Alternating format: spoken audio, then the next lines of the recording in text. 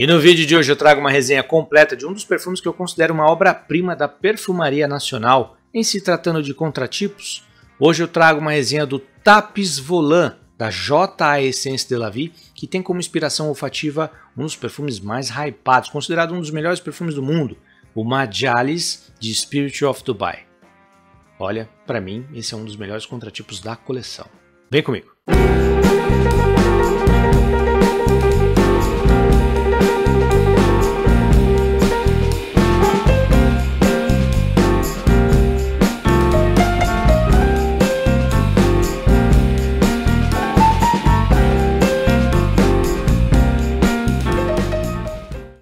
Saudações, meus charmosos e charmosas, Sandro na área, Sandro por aqui. Sejam todos bem-vindos de volta ou bem-vindos pela primeira vez ao canal Notas de Charme. Se vocês estão procurando por perfumes mais exclusivos, pouco comentados, perfumes fora da caixa, né? Fora da casa, fora do radar, como esse que eu vou trazer hoje, vocês vieram ao canal certo. Bem-vindos. Hoje, como eu mencionei, sem muitos rodeios, eu vou trazer para mim uma resenha que provavelmente eu considere como um dos melhores, eu considero, desculpa, como um dos melhores contratipos aqui da coleção. Eu já trouxe vídeo, eu trouxe esse perfume aqui em forma de live, né? Assim que ele chegou aqui no canal, alguns ah, vários meses atrás, mas eu nunca tinha feito a resenha especificamente para vocês. E hoje eu falei, não, eu preciso resenhar para a galera. É um perfume, é uma obra-prima. Então, hoje eu trago essa resenha aqui direta para vocês. Mas antes, por gentileza, já deixa o seu like aqui. O seu like é muito importante, vai me ajudar demais. Se você não for inscrito, já se inscreve no canal. Agora sim, vamos lá. Galera, JA Essence de la Vie, empresa parceira aqui do canal, empresa de muita qualidade, é inegável a qualidade dos produtos da JA, não tem muito o que falar. E link do perfume, assim como do site, na descrição aqui do vídeo. É só descer, não precisa ir no Google, ficar procurando por nome. Tá aqui já, ó, tá aqui embaixo, ó, um dos primeiros links aqui da descrição. Diferente da primeira vez de quando eu trouxe as minhas impressões do, do Taps Volant, que foi na live que eu mencionei, eu não conhecia ainda o original. E hoje eu tenho o decante dele aqui, então eu posso falar um pouco mais a respeito da similaridade. Então tá fácil. Por isso que eu esperei tanto para fazer a, a, resenha. E quando eu é, conheci o perfume original, aí tava muito calor. Eu falei, não, acho que não, não, não orna trazer. Agora nessa temperatura aqui, ó, marcando aqui 18 graus, um pouco mais tranquilo para trazer a resenha desse perfumaço aqui para vocês. Muito bem, então, como eu mencionava, Olha, a apresentação da JA eu acho que já está muito bem conhecida. Esse frasco, gente, eu acho esse frasco aqui sensacional. Agora ele é um pouco mais abaloado, né? Mas o frasco de 100ml antes da, da JA é uma coisa assim. Vontade de tomar assim, esse brilho que tem aqui, eu gosto muito, tá? Bom, o nome do, do, do perfume já passou aqui, mas eu vou deixar aqui para vocês, ó. Ó, Tapis Volant. Eau de Parfum. Gente, ele é um Eau de Parfum, mas eu não sei se mas claro que a JA sabe o que está fazendo, né? Mas é, para mim às vezes parece extrato de parfum, né? Porque ele é bem concentrado esse perfume aqui, tá? É, já, já vou antecipar aqui, antes de falar de qualidade, porque assim, o perfume, gente, já ou duas antecipações. Qualidade extrema. A qualidade desse perfume aqui é um absurdo. Então, pronto, é um perfume de muita qualidade, não vou fazer mistério. A nota vai ser alta. E a, a outra antecipação é o seu desempenho. Eu não vou precisar falar lá, gente, desempenho. Gente, desempenho desse aqui ele é muito forte. É um perfume que projeta muito, fixa muito. Lá na live eu lembro de um trecho de quando eu, é, quando eu tava falando ao vivo com vocês, ao vivo e a cores, que o perfume ele estava cheirando na fita desde de, é, há mais de 24 horas de quando eu tinha borrifado na fita, na fita, tá? Vai passar uma moto aí, mas vou ver se eu sumo com esse barulho aí. Ó. Aí depois eu dou um jeito de abafar o som aí, não tem problema. Olha, galera, mas uma coisa que eu acho importante falar para vocês é que, é, antecipando o desempenho, né, que nem eu estava falando, só tomando, retomando o raciocínio, esse perfume aqui, ele, quando eu borrifei na fita para fazer o, a live no dia seguinte, eu borrifei antes para ir continuar testando. E no dia seguinte, mais de 20, eu borrifei às 3 da tarde, 4 da tarde, uma coisa assim, do dia anterior. E quando chegou na live às 6 e meia do dia seguinte, 6, 7 horas, a fita estava cheirando ao ponto de quase poder resenhar. As notas de saída já estavam mais tranquilas, mas o perfume estava lá, gente. Filme forte. Então, desempenho. Se você é a pessoa que fica esperando até o final do vídeo, fique tranquilo que esse perfume ele projeta e fixa muito. Depois eu falo em horas, em tempo. Vamos lá? Seguinte, gente. Olha, vou borrifar essa criança aqui. Essa vai ser uma resenha diferente porque, primeiro, O Uma Diálise, né, o perfume considerado como um dos melhores perfumes da, da perfumaria internacional, um perfume árabe, né, da, de uma empresa chamada Spirit of Dubai. Nossa, só de estampar já veio o cheiro aqui do perfume. Incrível. É um perfume muito, muito hypado, de extrema qualidade, com muitas notas listadas. Tanto que eu, eu não vou conseguir falar para vocês aqui, como eu sempre faço, de ir colocando nota por nota. Vai aparecer para vocês exatamente nesse momento aí um recorte de toda a pirâmide olfativa deles. Então, olha, são muitas notas na saída, muitas notas na, na, na, no corpo, né, no coração da fragrância e muitas notas também na base. Então, não dá para listar todas as notas aqui para vocês, tá, pessoal? Então, eu deixei por um tempo passando enquanto eu falo aqui, mas eu vou voltar aqui agora a câmera para mim porque realmente é, é, impossível eu lembrar isso de cabeça. e Então, por que, que essa, essa resenha vai ser diferente? Porque, gente, é, são muitas notas, então é um resumo desse perfume. Embora seja uma resenha completa, eu vou falar aqui como foi usar, como é usar esse perfume aqui. Em se tratando de descrição da fragrância, trate isso como um resumo, porque é impossível para mim, né? Eu descrever, destrinchar todas as notas aqui para vocês. Primeiro que não dá para sentir todas as notas, é, são, são notas que às vezes compõem acordes, né? elas se, se mesclam e se misturam, tornando um cheiro específico. Então, é, a pessoa que canta nota de, de, de fragrante, né, ou do, do site, às vezes está lendo, está falando que sente, não, tô, né, não vou apontar, mas às vezes não está sentindo, porque não tem um cheiro, sei lá, né, de, de uva passa. Um, tô zoando, tá, gente? Mas vamos falar, é, tomilho. Puxa, às vezes o perfume não apresenta um cheiro de tomilho especificamente. O tomilho tá lá para compor um, um toque, enfim. Então, como eu dizia, vai ser um resumo dessa minha percepção, beleza? Então vou borrifar aqui com vocês e conforme eu for, vou, vou, lembrando, eu vou olhar aqui porque senão eu erro a borrifada. Ó, vocês viram que normalmente eu dou duas, três, quatro borrifadas, né? Eu dei duas porque ele, ele vai tomar conta desse. Já tomou, rapaz, já veio aqui já. Uf! Ó, vocês viram que foi para lá, né? Veio aqui já, ó. ó. Não tem ventilador, não tem nada. Gente, ele é muito poderoso. Nossa, mas que saída espetacular! Que saída! Eu lembro que eu, é, até hoje eu borrifei lá quando eu conheci, na, na, na, meses atrás, gente, ano passado. E a impressão que eu tenho ao, ao borrifar esse perfume aqui, das vezes que eu usei, é sempre impactado, é sempre muito contente, muito feliz e muito, muito agradado, muito, como que eu falo? Satisfeito, desculpa. Agradável não, satisfeito com o cheiro desse perfume. Ele tem uma abertura super distinta, ele não parece com nada, mas nada que eu já senti na perfumaria. Ele tem uma abertura que começa com cítricos é, diferentes, então tem notas lá super diferentes, por exemplo, frutadas descritas na, na pirâmide olfativa como nota de é, pêssego, morango, framboesa, é, só que essas notas, elas estão, apesar. Ó, oh, gente, ainda tô. De serem é, frutadas, serem notas frutadas, elas se comportam para o meu olfato de forma mais cítrica do que frutada. Tem sim um aspecto de morango, tem um aspecto aqui de, de, a, a, de carnudo do pêssego, sabe? Tem uma coisa meio suculenta.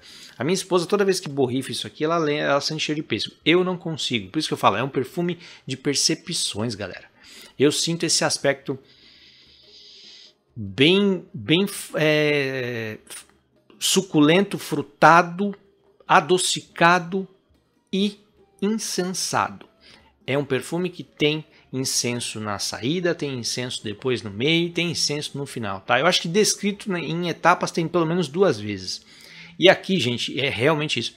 É, nessa saída nós temos aqui frutas incensadas, toques levemente florais aqui, ainda nesse momento aqui. Tem um acorde um pouquinho especiado, dá um toque assim de especiado de, de pimentas, né? Tem um tem toque, especiarias finas, não é aquele, aquela pimenta muito rústica ou muito ardida, é, picante, que eu, eu particularmente não gosto na perfumaria. Essa saída aqui é, é espetacular, pelo menos para mim, tá, gente? Mas ela vem seguida por um lado aquoso, fresco, mais potente. A saída é potente por, causa, por conta do, do incenso e essas notas frutadas. Ainda não está aparecendo, gente, porque assim, qual que é o defeito desse perfume aqui para resenhar?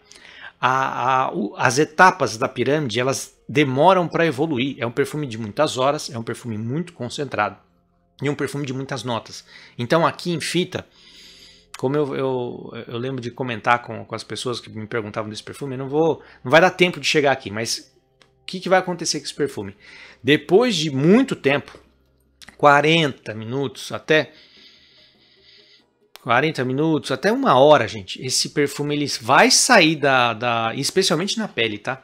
Aqui na fita eu acho que ele ainda é mais volátil, mas na pele ele ainda é uma hora para as notas de saída começarem a apresentar a evolução, começar a migrar da evolução para as notas de corpo, tá? Pelo menos comigo, gente, pelo menos no meu olfato. Tem gente que já sente tudo, né? Tem gente que sente nota do corpo e assim, é muito do olfato.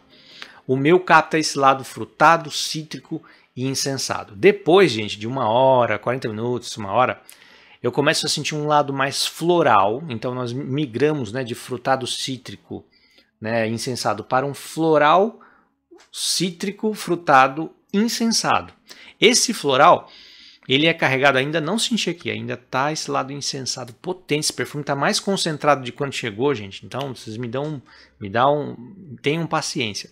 Mas pelo que eu lembro de usar ele aqui, e agora alguns resquícios aqui, mais ou menos atalcadinhos, eu, eu lembro que essa vem uma, uma, um corpo mais floral, levemente atalcado, com notas atalcadas, inclusive nota de íris, mas não é aquela íris de estojo de maquiagem, não é aquela íris de que lembra Prada, Dior, Givenchy, não. É uma íris floral mesmo, tá? É um aspecto floral limpo aqui. E essa, essa nota de rosa bem evidente, ela, ela ganha uma, um aspecto sofisticado, compartilhável para a fragrância. Já adianto que é uma fragrância compartilhável. Nada nela de, denomina ou masculina ou feminina. Mesmo sendo amadeirado, mesmo sendo frutado, mesmo sendo insensado e mesmo sendo floral. Gente, é uma riqueza. É, parece uma, uma resenha confusa, né? Desculpem se eu não estou sendo muito é, linear aqui no raciocínio. É que é muito rico. É, o meu, meu olfato fica em festa quando eu borrifo esse perfume aqui. Nossa, é uma coisa de louco. Depois desse tempo, gente, que eu falei de uma hora até as, as notas de corpo, e mais um tempo ainda dessa evolução da nota de saída, porque não desliga, né? As notas de saída não se desligam para aparecer do corpo, elas vêm, pega de corpo, vem e depois pega as notas de saída, mais ou menos, tá, gente? É, metaforicamente. E aí lá no final, depois de um bom tempo, nós vamos ter um lado é, começando a migrar né, para uma, uma questão ainda mais árabe. Já aparecia um perfume árabe por, pela conta do incenso, por, lado, por esse lado é, exótico, floral, frutado. Tem toques que eu posso dizer para vocês que durante o corpo, ainda dentro do corpo, né? Eu só falei das flores, né? Mas tem um aspecto aqui meio exótico, tem um lado frutado, exótico, também insensado aqui. É difícil descrever é, qual fruta que é, gente, são muitas frutas. E aí depois, quando vai para as notas de base em si, para dar uma resumida aqui, senão fico até amanhã falando desse perfume, aí a gente vai ter um, um perfume ainda mais árabe.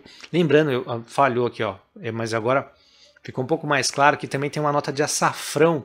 Então, é, é essa mistura de açafrão, oud, rosa que estão na, na fragrância, mesmo que separadas, elas dão um toque de exclusividade, um toque de perfume árabe, sabe? Lembram perfume árabe, especialmente do, da, do final do corpo para secagem, que a gente vai ter lá aquela base bem amadeirada, tem madeiras, tem wood, tem um aspecto aqui é, resinoso também, ele é rico em resinas, ele tem um, um, toque adocicado, tem nota de baunilha, tem resina, gente, é um perfume, tem de tudo, todas as notas, eu lembro se tem nota de couro, Agora de cabeça eu não lembro. Se tiver, eu deixo aí. Eu, eu, eu, não sinto a nota de couro, couro assim, mas só falta essa, porque tem íris, tem notas cítricas, tem notas atalcadas, tem açafrão, tem nude, é, resinas, bálsamos. Então, assim, tem de tudo que você imagina na perfumaria. E muito bem feitas. Né? O perfume não fica aquela, sabe, aquela coisa. Ah, usei 10 mil notas. Eu acho, gente, eu acho que tem umas 40, mais de 40 notas listadas. Mas sabe quando a pessoa usa 15 notas, às vezes você fala, nossa, tá um samba do, do coisa doida aqui. Aqui não. Aqui tem esse aspecto. É uma obra-prima, gente. É realmente. Eu, talvez você não goste de usá-lo. Mas eu recomendo você comprar um decante, comprar um de 50ml para você conhecer, gente. Para que vocês conheçam, desculpa. Essa, essa fragrância tão rica que é. Né? O Tapis Volant da JA. Então, assim, em cheiro, resumindo, é isso. Muito resumido, tá? saída cítrica, frutada, frutada, cítrica, exótica, suculenta, insensada. Migra para um corpo mais floral, levemente atalcado ali, com íris notas atalcadas de forma também exótica e insensada, e culmina aí numa. termina, né, desemboca numa secagem bem resinosa, bem densa, bem amadeirada também, com notas de wood, notas de é, madeiras um pouco mais intensas, né? Até um toque de mel também. Tem um aspecto de mel aqui, mas um mel não é aquele mel doce açucarado artificial, é um mel velho, sabe, um mel curtido. Maravilhoso, maravilhoso. Vamos falar de proposta já é de, de público, então, né? Eu já posso falar que é, é compartilhável totalmente, homens e mulheres. Agora, assim, em faixa, desculpa, faixa etária, né? Onde, digamos assim que é um perfume para conhecedor de fragrâncias, não é alguém que vai comprar isso aqui para usar na, na faculdade. Pode até ser, tá, gente? Mas eu acho que tem que ter um estofo na perfumaria. É alguém que já está usando bastante contratipos aí, ou conhecendo decantes, alguém que saiu do desodorante, usou um One Million, ele, o Invictus, o One Million, não sei o que, e pular para um desse aqui, vai sentir muita diferença. Vai muita diferença. Vai falar assim, nossa, não, não, não gostei. Pode acontecer de gostar, mas não é. Então, 30, 25, 28, 30 anos em diante para essa galera que já está um pouquinho mais habituada, tá? Aí a galera que já está na perfumaria há mais tempo, aí beleza. Olha, proposta.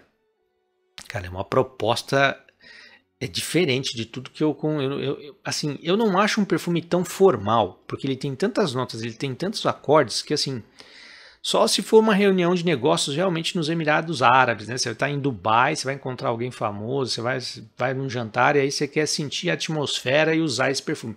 Porque eu acho que ele é muito opulento. Ele pode ser, ele pode esmagar as fragrâncias ao redor para usar numa, num, num, numa reunião simples lá de, de, de, de metas de um, de um, escritório pequeno. Cara, você, você, você vai parecer uma árvore de Natal, assim, brilhando, só que com cheiro, né? Exalando. Não é a proposta. Dá para usar, gente? Dá para usar. Mas eu acho que ele, ele é muito rico para isso. Então eu diria que ele tem um lado mais casual do que formal. Mas eh, se você quer utilizar da proposta exótica para os seus eventos, para as suas saídas, para os jantares, reuniões e afins, esse é o cara. Esse é o cara que vai falar assim, ó, é, não tem nada e nem ninguém usando um perfume como esse aqui no, no recinto. Tá, é um perfume... Cara, agora que a rosa tá aparecendo, olha só. Agora, né, uma, uma, uma, uma nuance do corpo apareceu agora. Divino, divino, divino, divino.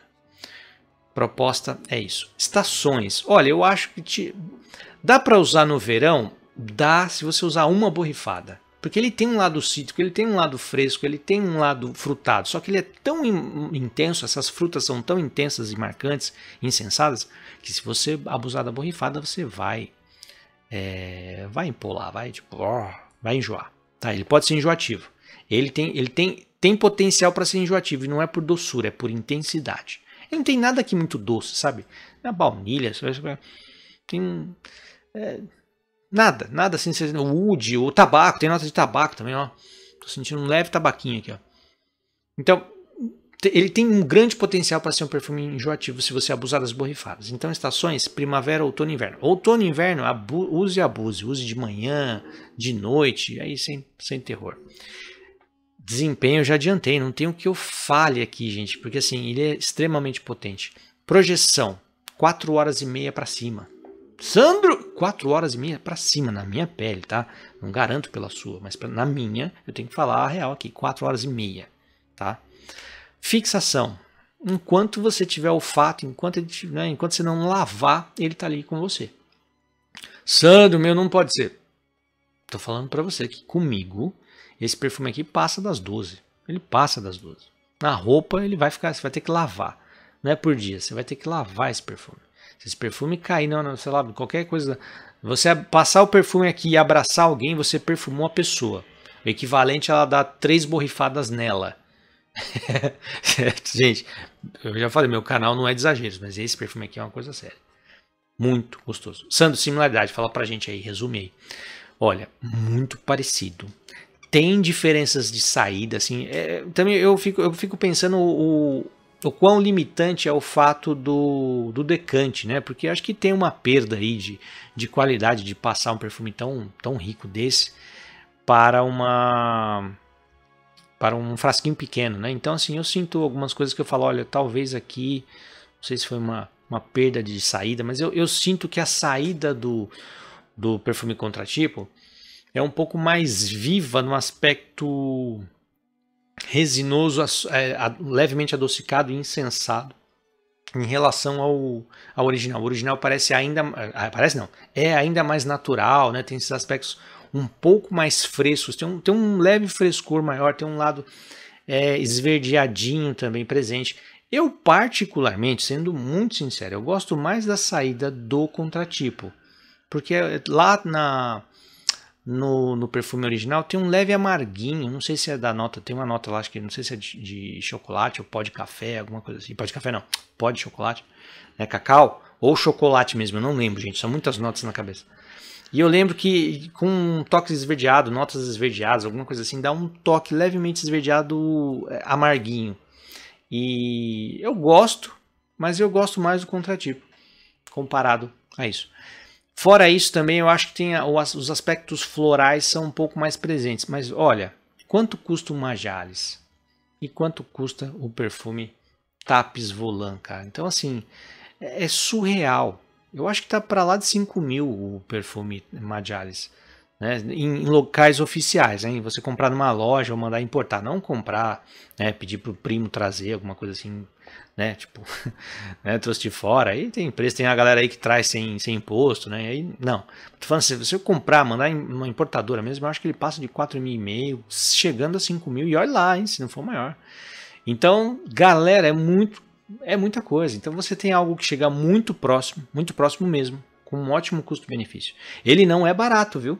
Eu vi que o preço da, da JA desse perfume aqui, tá, ele passa dos 300 reais o frasco do 100 ml. Sandro, 300 reais. É, cara, mas Olha quanto custa o original. E, e os ingredientes. Olha, desculpa, se você pegar um decante. Vai lá no guia do decante, então. Porque às vezes, ah, não, são 300. Vai lá no guia do decante, compra um decante de 5ml, testa e vê se não vale o que está sendo cobrado. Lembrando que é, os produtos tiveram reajustes, né, gente? É, tudo tá, tá caro hoje, né? Tudo aumentou, menos o nosso salário, né, galera? Tudo aumentou, então é, é natural que as empresas é, trouxessem também alguns reajustes. E um perfume desse aqui, para manter essa qualidade, tem que ser reajustado, não tem jeito. Então, vale cada centavo que está lá. Né? Se você pode ou não, se você acha, se você pode comprar um ou outro, vai falar que não vale, aí eu vou ficar bravo com vocês.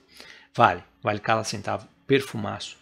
Levando tudo isso em consideração, com base no meu gosto pessoal em relação ao Majalis, ao perfume Tapis Volant, eu atribuo a classificação de 5 estrelas, mas assim, ó, cinco estrelas galopantes, cara, porque assim tem muita qualidade de perfume. É de fato uma obra-prima. Mas e você já conheceu o Tapes Volant? Tem na coleção? Já usou? E aí, o que, que, você acha? Tô, tô, tô, viajando. O perfume parece um perfume barato? Parece que não tem qualidade? Deixa aí, vamos, vamos conversar direito, né? Com, realmente aí com pessoas que usam, pessoas que são aqui da comunidade, né? O pessoal, ah, não, é ruim, mas nunca o sentiu, né? Tá falando só pra zoar a marca. Quem é mesmo aqui da perfumaria, comenta aí o que, que vocês acharam. Bom, meus amigos, agradeço se você puder deixar mais um like, se você conseguir compartilhar esse vídeo com alguém, se você puder se inscrever se você não for inscrito. Hoje eu fico por aqui. Nos vemos em um próximo vídeo. Até lá. Fui.